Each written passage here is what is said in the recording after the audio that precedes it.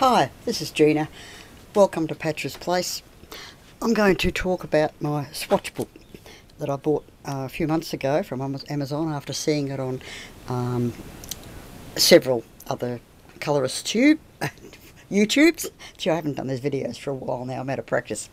Anyway, I just want to walk you through this because I've had an enormous amount of pleasure doing this swatch book. And the reason why, or the main reason why, I swatch all my pencils is because if I'm doing colouring in something and I'm using one brand of pencil and I haven't got the colour I want, instead of uh, ruffling through all my other pencils, the boxes and the tins and so on, I can go straight to my swatch book and look for the colour I want, then I can go straight to the source and find it. So to me it's enormously time saving. Anyway, this is the one I settled for out of all the different ones that are on the internet, the Mega Colour swatch book. And that's my index. I've started off with the Prismacolor. I've got 72 Prismacolors. So I've tried to do them in uh, the colour order that suits me. The swatches aren't always in the same colour order, but it depends on the mood I'm in at the time and what the colours are looking like as I pull them out of the tin. So there's my Prismacolors. Then I have the Faber-Castell Polychromos. I've got 36 of those. Uh, Black Widow, I've got the full set of the Black Widows except the, the skin colour tones. I haven't bothered about those sets. But this is the Monarch, a set of 48. Uh, this is the Black Widow Black Widow, the set of 24. And the Black Widow Dragon, 36. Black Widow Cobra, 24. And the Black Widow Scorpion, 24. Then I've got Caran d'Ache Luminance 6901. I only got 20 of those. And, you know, they're supposed to be the best in the world because they're the most expensive colour pencils in the world and so on and so forth. Look, they're nice, but I'm not overly impressed with them. Sorry, I, I that nearly hundred dollars I paid for these, and I thought if I'd known what I know now, I wouldn't have paid hundred dollars for them. There's other sets that I've got, twenty and twenty-four sets that are just as good, if not better. Well, they're probably not better, and I guess these are aimed at artists who uh, draw, you know, and, and um, do graphic art for a living and they're different purpose. They're not necessarily for colour, designed for colouring in. Anyway, they are what they are, and um, they're okay. Derwent Artists, the Derwent Artists 72 set. Now, I bought these about 20 years ago. When I was a kid at school, Derwents were the in thing when I, in the 1950s. Not many people could afford Derwent pencils. They were terribly expensive. And I think I had a set of 12 and I thought it was Christmas. And I always thought when I go up and start earning money, I'm going to buy a set of 72. And it wasn't until I was 60 years old that I did. But I was so tickled pink even at that age to get the 72, set of 72. So there they are. Then somebody gave me a set of 36 a couple of years ago, thinks she was doing the right thing. Oh, Gina likes coloured pencils, I'll buy her a set of Derwents. now, these are Derwent Studio, and there's a subtle difference. They're basically the same colour, but there's a subtle difference between the colours. I can't really quite put my finger on it, but anyway, I'm glad I've got them. And these are the Derwent Inktense, the 36 set, which again are completely different colouring pencils, as most of you would know. Love those. Derwent Academy, set of 24. Now, these were given to me by somebody who didn't like them. And I've got to admit, I, don't, I can understand why. They're nothing much, how can I say it? Nothing much like the other Derwents. Um, they're very subtle, very pale, uh, almost into a, a, pastel set, I suppose you could say. But maybe they've got a specific purpose they were designed for. I don't know, but I use them occasionally, but I'm not really wrapped in them. Then I've got the Faber, oh, Faber-Castell. These aren't the polychromos. These are assorted pencils that I've bought over time. These classic colour pencils, 10 of them. Classic colour pastel, yeah. Um, I saw them in the supermarket and I thought, oh, I'd seen all the fuss about pastel coloured pencils in colourists on YouTube, and I thought, oh, I'll have some of those, and they're okay. These art group are ones that I've, I don't know, I've picked them up from somewhere, and this is an Albrecht Dürer, a one-off pencil that I bought for an art course that I did, um, a workshop, and they particularly wanted that colour. Now, these ones, the Art Studio, set of 46, um, Art, Riot Art and Craft is a, a chain store chain store of um, art and craft here in Australia. I don't know they have them overseas, but Art Studio is their brand name. So they've got um, the normal colour range, and then you've got four neon colours as well. Chameleon, which are Swiss pencils, which I absolutely love. 25 pencils, 50 shades, because they uh, one shade, a different shade at each end of the pencil. A lot of people knock them. Um, they don't like them for whatever reason, but the pencils themselves are quite quite beautiful to use, and, and I do love the colours. Faber-Castell watercolour pencils, a set of 36. Now here I was really lucky. I found those at um, an op shop for five bucks. wow, hardly even used. So that was that was a bonus. Bic Intensity. Now, I always thought Bic made just made biros, but all of a sudden in the supermarket I found this set of 24 pencils and I went for them. Wow, they're beautiful. They're absolutely brilliant, beautiful colours. Spectrum Noir, which again were given to me. Um, yeah, just that set. One page, I mean. Uh, yeah, the colours are nice and they're not bad to use, but oh gee, they break. Oh, when you sharpen them, they break and they break and they break. Some of them, um, I think it was a set of oh, 46 or whatever, I forget now, but some of them just kept on breaking until I just there was nothing left and I had to throw them away, which I was disappointed about. And I thought of contacting the company and thought, oh look, what the heck, I've got enough pencils, I don't need to worry about it. Mark Art, um, these are a set of 120. I never ever thought I'd buy one of these budget sets of pencils for 120 pencils. Who needs 120? But I have to admit, they are enormous fun. There's not many colours there that, that don't exist under the sun, is there? They're just cool. And they're nice to use. I really quite use them for a so-called budget, budget Chinese set. They're lovely. And I've got Scholar pencils. Now, I only bought these last week. I wasn't going to buy any more colour pencils this year, was I? But when I saw these at Aldi for $1.29 for a set of 20, I thought, yes! and I only bought them because somebody else I know had bought them. And she said they're, they're really nice pencils to use. And I agree, they are.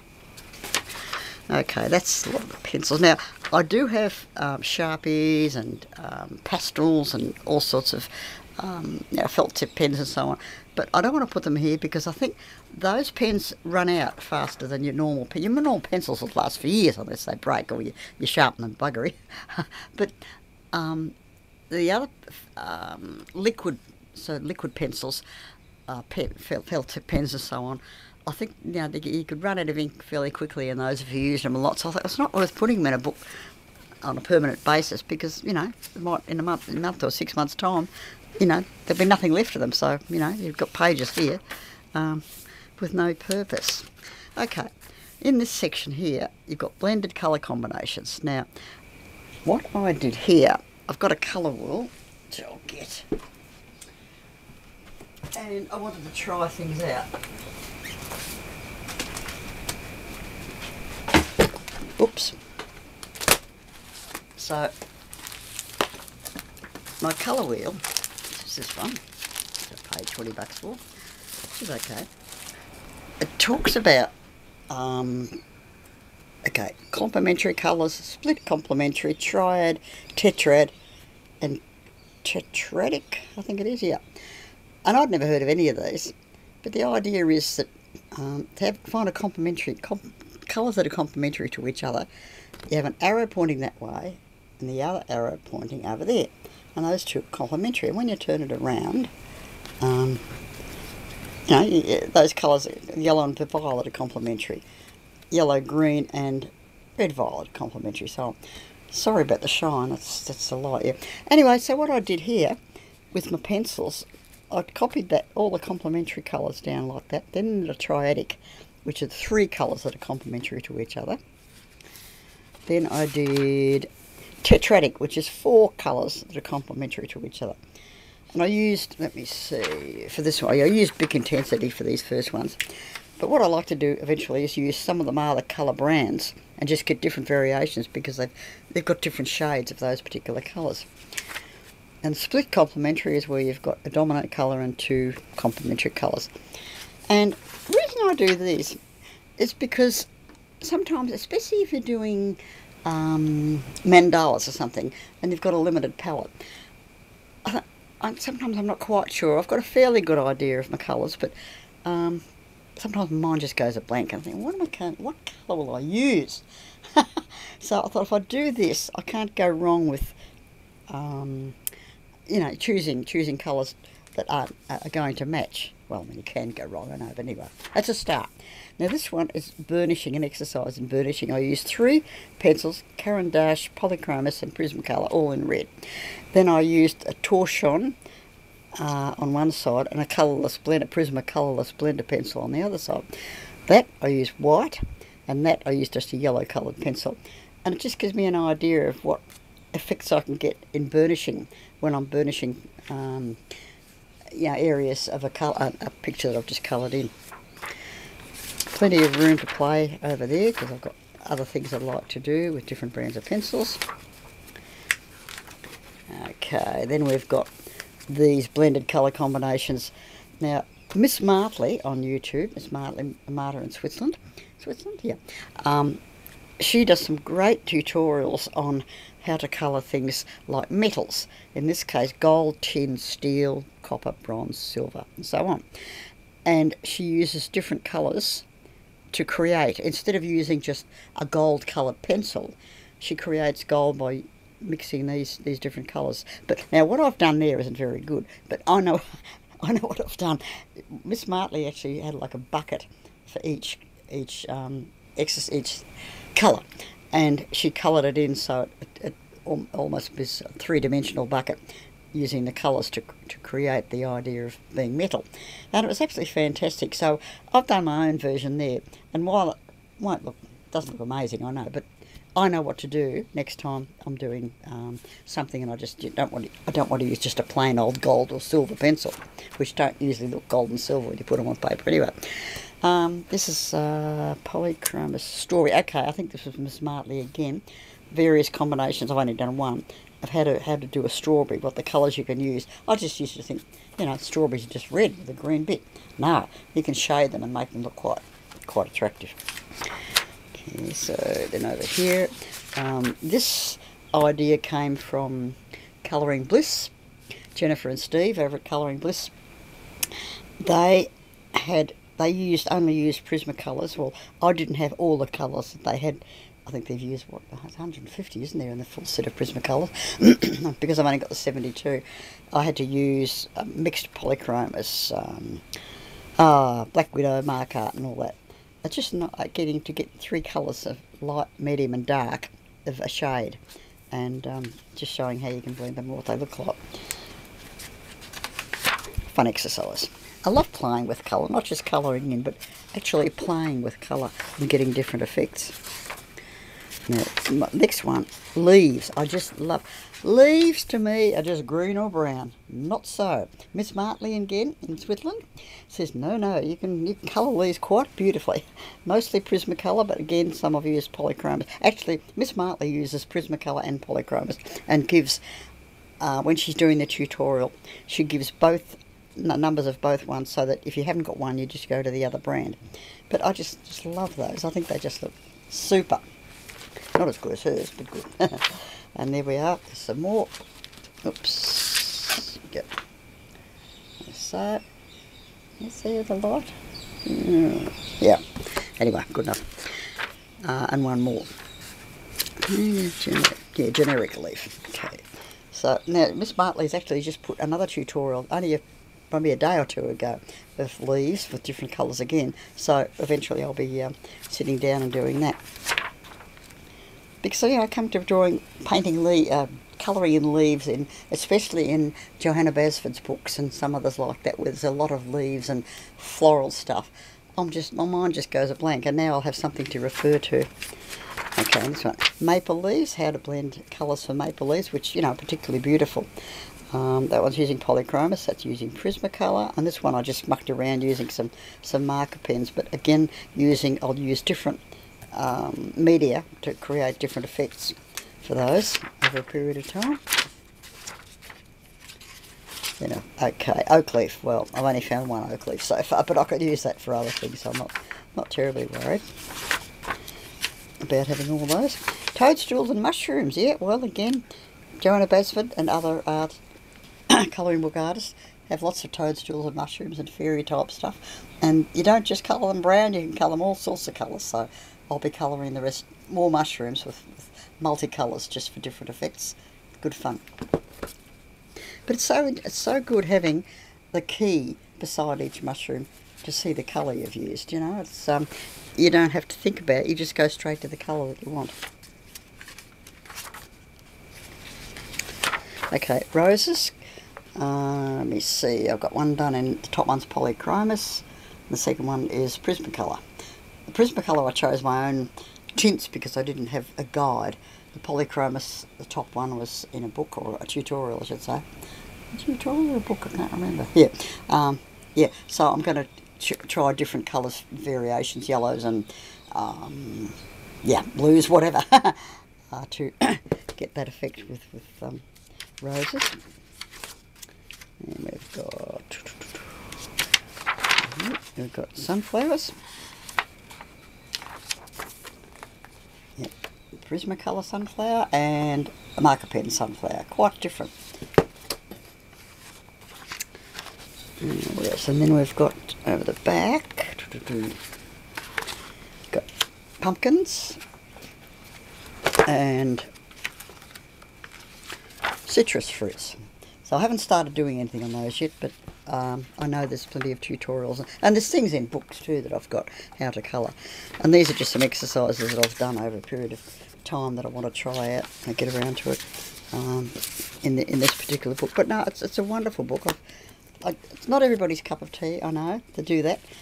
Um, some people just like to just, just colour in. Some of my friends think I'm mad, though. Why don't you just colour the books and be done with it? Well, yeah. the other thing, when, before I got that, that particular book, I had this folder for my swatches, swatch charts. And this is a list of um, the pencils and the brush markers and the water-based markers and all the things. So I've made a list of what I've got so I know where I am. And then I've got on loose pages, I've got these. This is my art studio.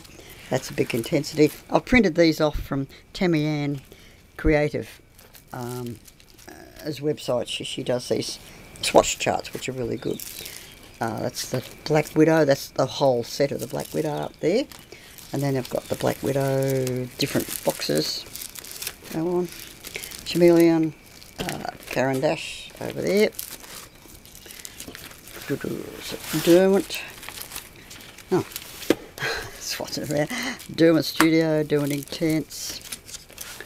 What do we got? Faber-Castell, Faber-Castell Watercolour the Faber-Castell Pastel marker whole set on one page, which I, somebody had um, printed on a swatch chart on somebody's website. Prismacolor, Spectrum Noir, metallic pencils. Okay, these are just metallic pencils of different brands. These are my gel pens, different brands of gel pens I've got. Then I've got wax crayons, Bambino and Scholar Twist, which are Aldi's. These are Derwent pastel pencils, where are we? Derwent pastel pencils, um, Faber-Castell soft pastels, and texture oil pastels.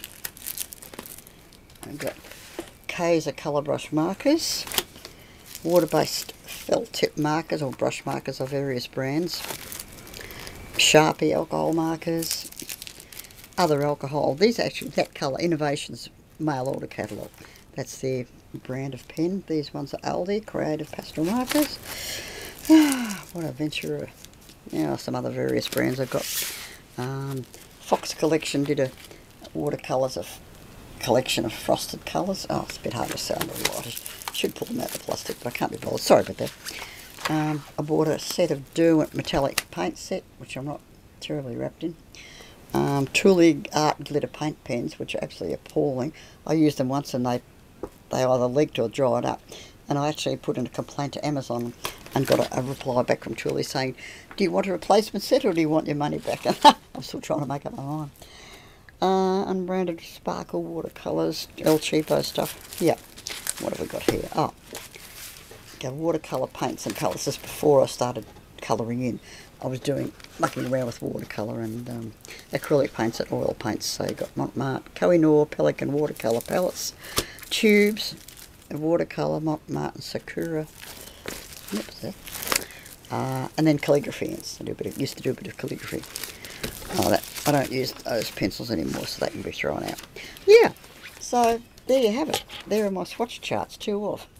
Now I've still got a fair bit of time left on this video, so I thought I might as well show you what I'm doing with Colourfully Optimistic channel. She runs a, a monthly challenge. She calls it the Alphabet Challenge, and it's she said do a different use I'm going to say a different media, a different brand of pencil each month, and she's that way you work your way through the pencils or markers or whatever, and the ones that you might not use very often you're going to have to use because it's that month. So there was A, B, C, and so on. I think it started August last year. I think August or September, and just by chance I had to have I had this book in my possession, this alphabet book, book of letters, and I hadn't coloured anything in because as much as I love looking at it, I just didn't have a clue which colours, which media to use, what colour to use, and so on. But ah, here is a challenge, an extra challenge to me. Not only will I use a different media, but I'm going to use, do my alphabet book. So the first one was actually using Derwent Academy, but because they were so pale, I went over them with something else to cut to fill them in. So it's not truly A for Academy. Next one, B for Black Widow. Um, Black Widow pencils. I did the B. That came out okay. The C I did with Chameleon. Um, this it looks a bit wishy-washy, doesn't it? I didn't really know where to go with the colours on this. Let me see what's on the front of the book. See, it didn't have a. It has, doesn't really have any examples on this book. You, you, you have to do your own thing. Anyway, what I, what I need to do is put some background. I've, I've tried to do some light pastel background, but I think a darker pastel background in there would really lift that. I've done the other, gone to the other extreme here. I use uh, E, what I've done. Now, if you're looking for D, there's no D. Stupid me. I gave it, pulled it out and tore it out and gave it to someone ages ago. So, so this one I used Spectrum Spectrum Noir pencils, and then I did a watercolour background, which is again bit of a mess. F is Faber-Castell Polychromos pencils, and again I did a watercolour background. I'd like to do some more, um, bit of shading around that, just to sort of bring it into focus a little bit. G, this is the best one I'm really pleased with. G, um, I use glitter paint pens, so I was very happy with that too. Again, I might do a background. So H, which is this month I think, I'm going to use um, my gel pens because I've got a brand called Henley, so it'll be Henley gel pens. So that's um, no, that's about all. Will I, will I keep going or not? Let me just have a look at what else I've got.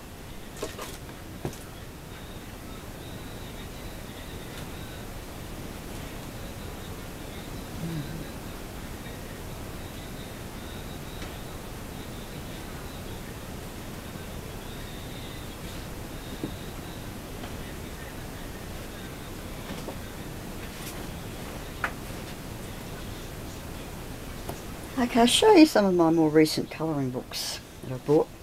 Some of them have already been on other websites or uh, YouTubers, but that's okay. You might not have seen them. I love As soon as I saw this on somebody else's site, I had to have it. So, the 50s, memories of the 1950s, dazzling diners. Just love it. You can have a look. Have a look at this. I maybe I should bring this down a bit closer. I don't know how to do that. So. That's a bit better out of the way. There we go. Oh, those out of the way.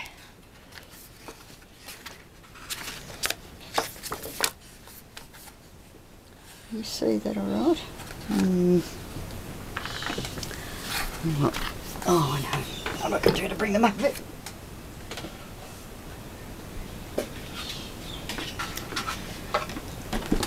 Use my writing board. Better. Why didn't I think of that before?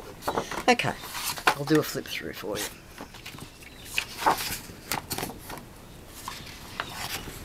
I don't think I need to say much. It speaks for itself, doesn't it? Anybody born in the, oh, the 1940s and before, whoa, would remember this. Those are the days, weren't they? After the Second World War,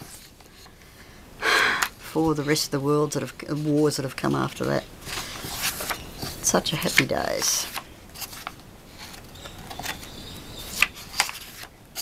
Innocent days. where people went to work, went to school, came home, relaxed with their family, went to bed, woke up the next day, went back to work and school. Not worrying about bloody bombs and wars and floods and catastrophes. Anyway, enough of that. I haven't covered anything in this book yet, but I'm looking forward to it. I don't know where I'll start because they all look like such fun.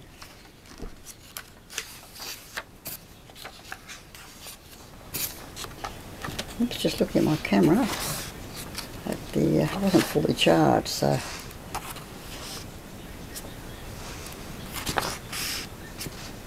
wonder how much more time I've got. Anyway, we'll take a gamble.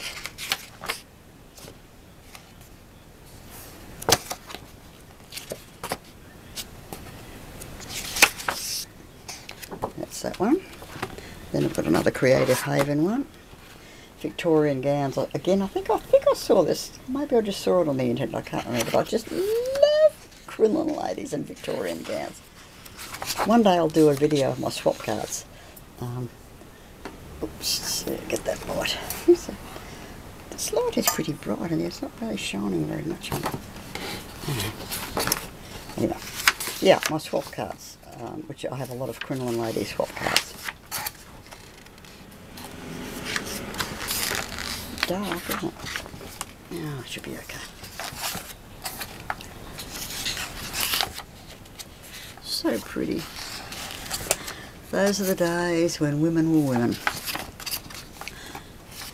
No jeans with holes in the knees, no thongs, no t-shirts. Just beautiful dresses. On the other hand, I don't know how the hell I went to the toilet in those dresses. Mind boggles.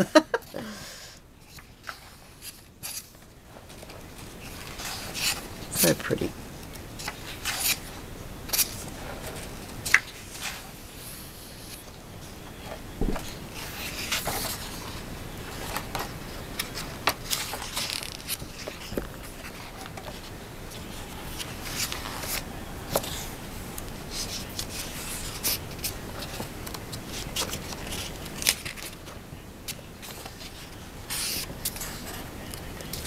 Know, you get all these books and you're dying to colour them in. And then I spent six, a month, two months or so working on the swatch book. Never mind, that's done now, so gonna start colouring in eventually. Lots to get me going. It'll take me years. That's alright. I'm retired. What else can I do? I didn't do that. That's printed one. Yeah. So I've still got a bit of battery left in the camera, so I might show you my third book. This isn't a Creative Haven. This is a one, again, I just saw on Amazon. Russian dolls. Um, I just love these, um, those Russian dolls, the ones that fit inside each other. They're so cute.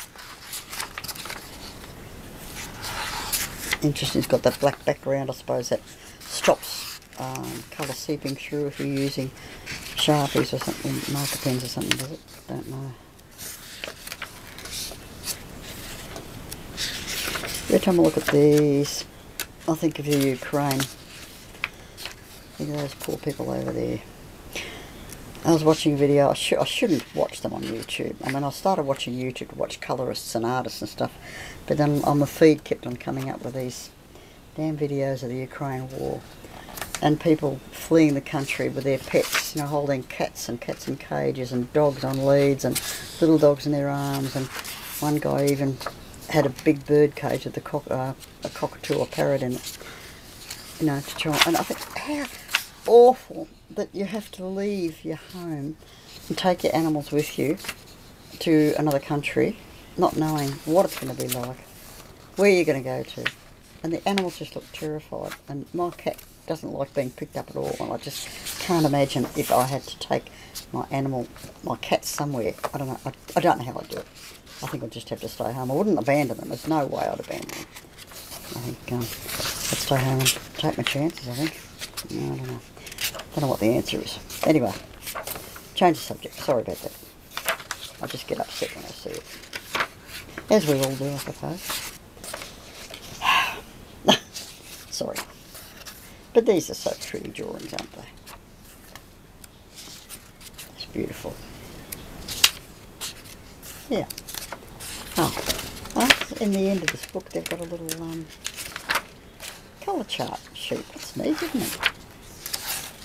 Good when they do that in um, in the colouring books themselves. Instead of having to go to my swatch book, I can, um, you know, play around here with colours I'm going to use on, on various pages. Okay, well the battery is nearly flat and I've done whew, 20 minutes. I think that's enough to put on YouTube for now. The next time I'll either show you some more of my colouring book, new colouring books or some of the ones I've actually coloured in. Bye for now and stay safe.